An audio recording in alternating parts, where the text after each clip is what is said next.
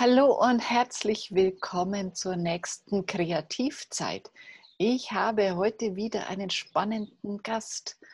Ähm, falls du noch keine Interviews oder Gespräche zum Thema Kreativzeit gesehen hast, wir reden hier über Kreativität und wie Kreativität entsteht. Und mein Gast heute ist Christine und sie beschäftigt sich insbesondere mit Gehirnfitness. Herzlich willkommen, liebe Christine. Stell dich doch kurz Hallo. vor. Hallo Angelika, freut mich sehr, dass du mich eingeladen hast. Ein spannendes Thema Kreativität. Ähm, was ich. Was machst du denn? Bitte?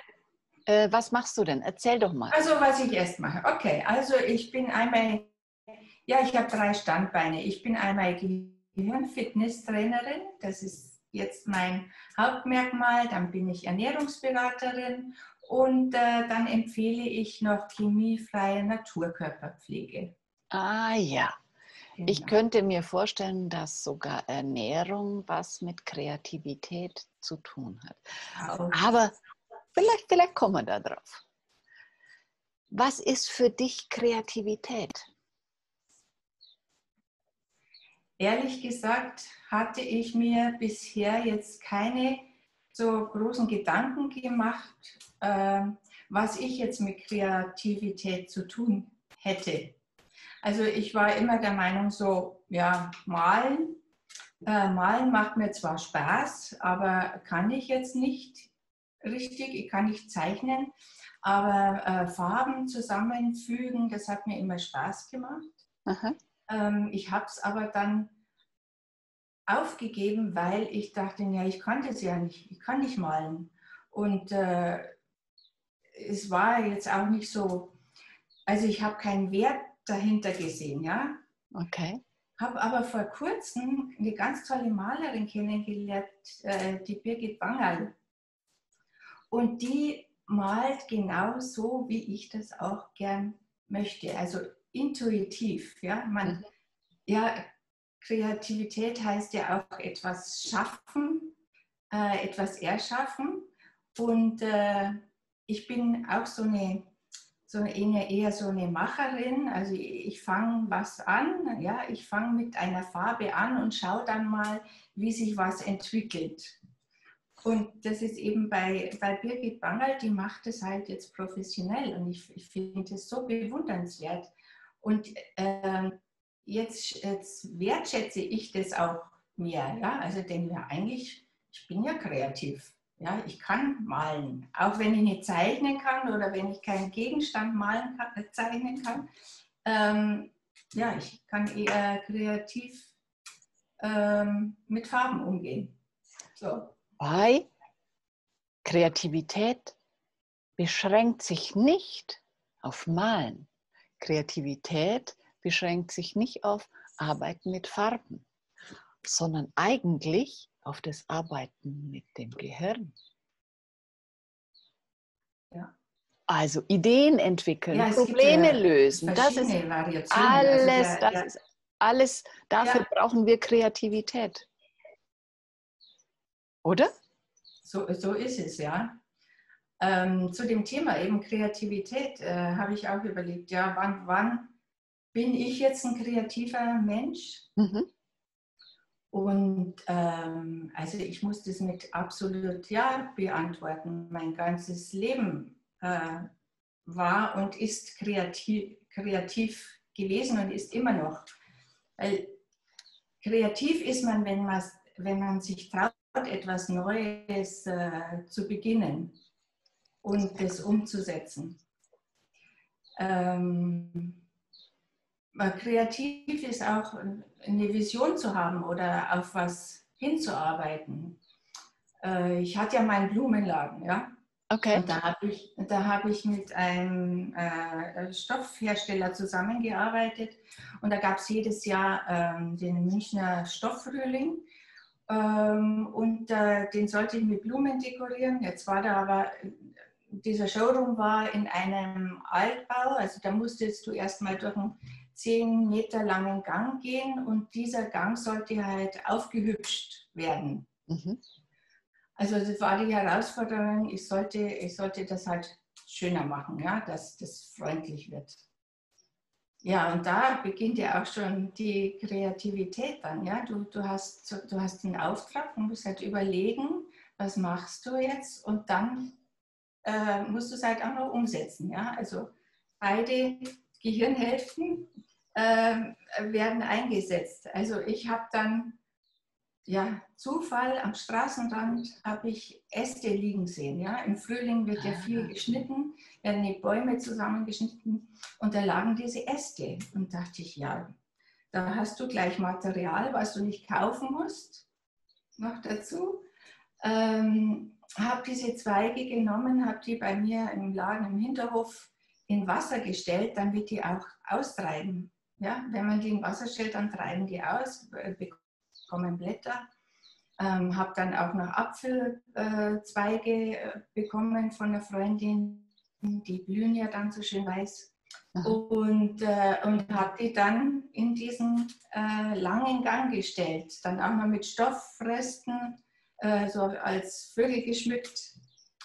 Äh, ja, zwar die Leute waren begeistert und ich, also ich, damals habe ich gesagt, ja, ist schön geworden. Ja, Heute sage ich, Mensch, ja, da war ich doch wirklich äh, kreativ. Absolut. Und da sind so viele Elemente drin. Du hattest eine Aufgabenstellung, du hattest eine Problemstellung. Und durch die Problemstellung hast du Dinge wahrgenommen, die du vorher nicht wahrgenommen hättest. Vorher, ohne diese Problemstellung, wärst du wahrscheinlich mhm. an den Zweigen einfach vorbeigegangen. Und so hast du sie gesehen und du hast sofort äh, äh, eine Assoziation dazu gehabt, du mhm. hast eine Idee gehabt, was kann man damit machen.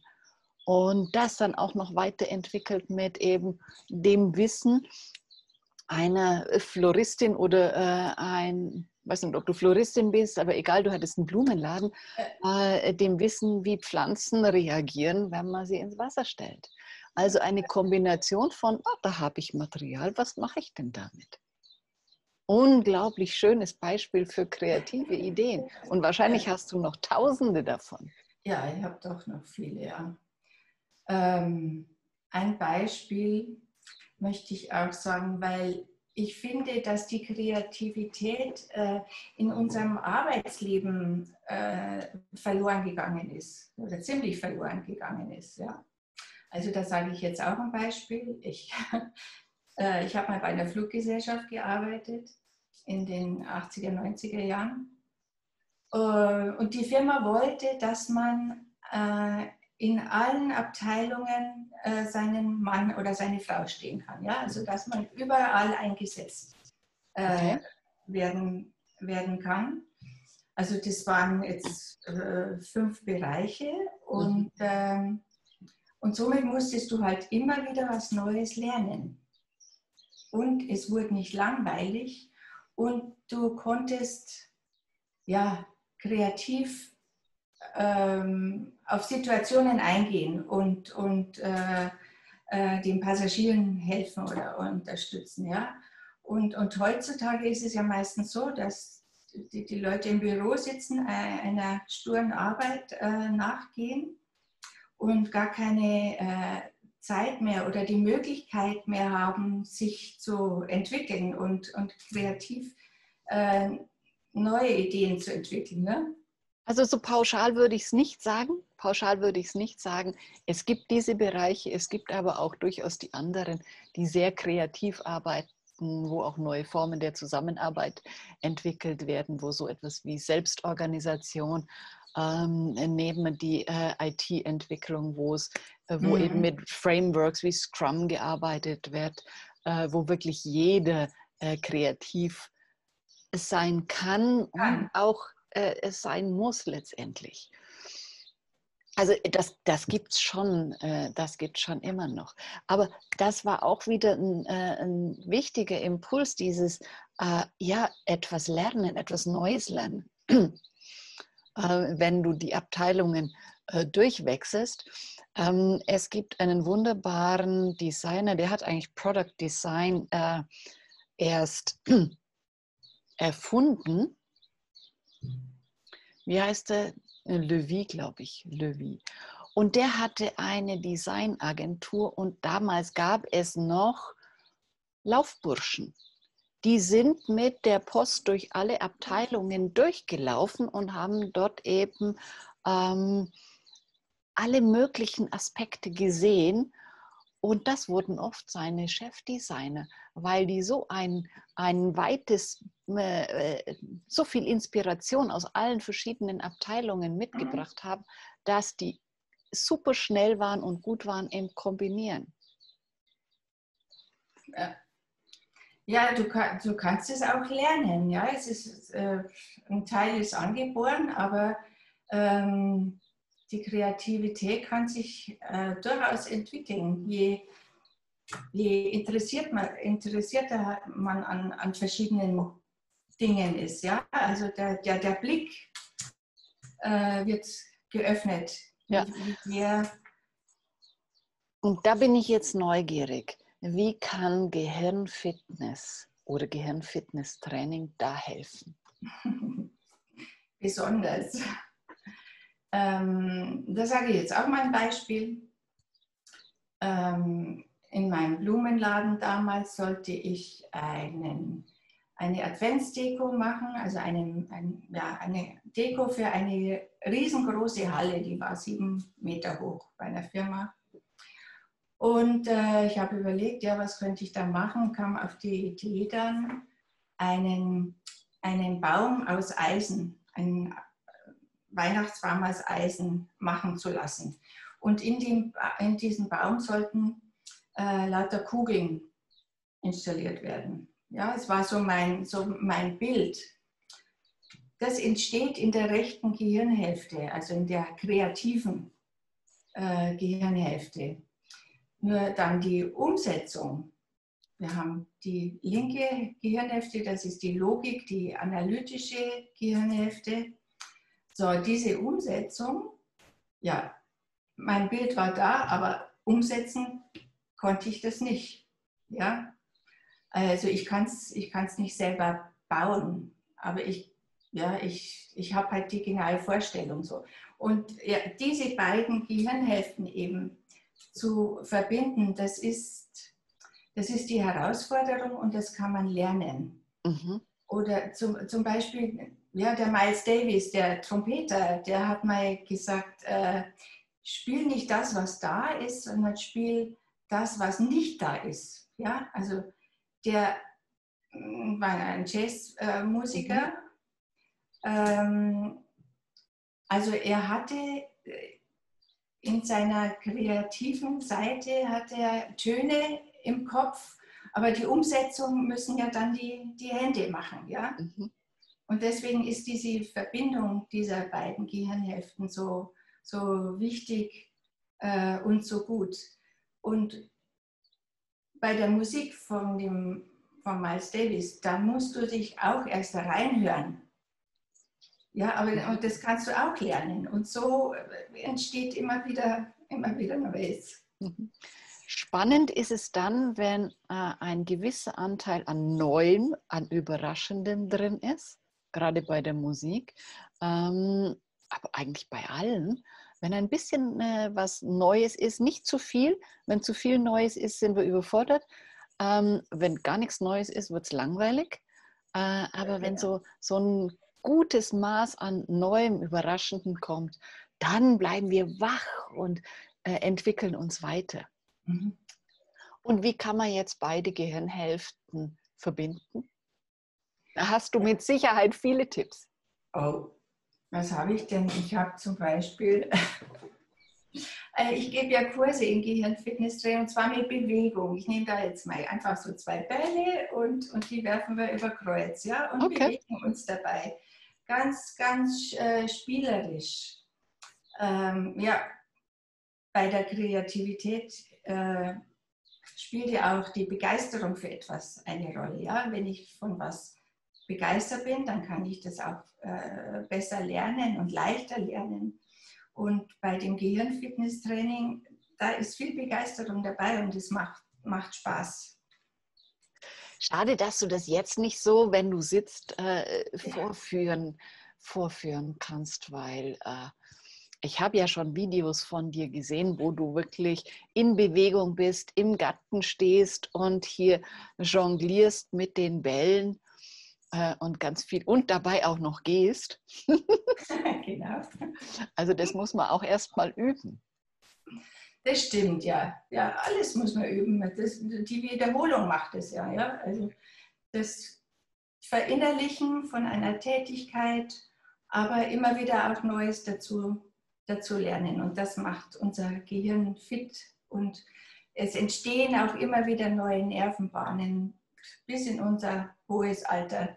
Also ich kann das Gehirnfitnesstraining wirklich nur jedem empfehlen. Schaut einfach mal äh, auf meiner Seite vorbei und äh, irgendwann wird auch noch ein Online-Videokurs kommen. Da hat mich die Angelika sehr dabei unterstützt. Das freut mich, das freut mich, wenn ich da mit äh, anschubsen durfte. Ähm, gibt, es, gibt es Sachen, wo du sagst, ja, da, das blockiert eigentlich Kreativität? Ähm, ja, man, man, man braucht Mut, ja, aber Mut hat nicht jeder. Mhm. Das muss man ähm, auch lernen. Also ähm, ja, loslassen lernen, Le Leichtigkeit, Leichtigkeit finden und, und dann den, den Mut zu haben, was anzufangen und äh, zu tun. Auch wenn es jetzt mal scheitern wird, wenn es mal nicht so funktioniert, macht, macht nichts. Ja? Aus, aus jedem Fehler äh, lernt man und kommt man weiter und ja, je mehr man sich traut, umso offener dafür wird man auch.